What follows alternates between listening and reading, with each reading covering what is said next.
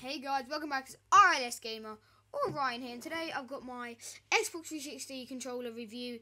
You guys probably thinking why the hell am I doing this? Um so yeah, this is uh, my review. Um, yeah, it glows all red. This is what it looks like at night time with no lights on, and you just got your Xbox on, stuff like that. Yeah. See, yeah, looks quite cool actually. That's what I'm playing at the minute. GTA 5. Uh, my map. Yeah. Alright, so yeah, so basically, this this controller is really neat. It's not a SCUF. Um, it's just a normal Xbox 360 controller, but it's all lights up and it's pretty cool. It's forty pound ninety nine pence. I reckon it's pretty expensive uh, for a controller, but it is worth it. As you can see, it's is um, red LED and red LED on the other side.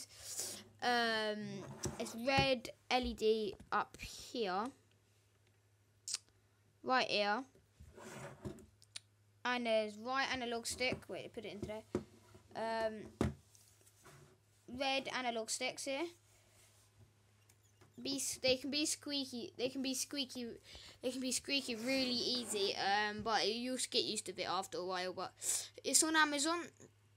Um so yeah as you can see uh, mine kind of fell off wait put it into the light mine kind of fell off and my here's my um extended analog stick what is called um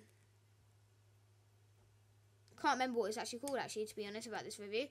Um, but anyways, um, guys, yep, it holds about, obviously, two AA batteries.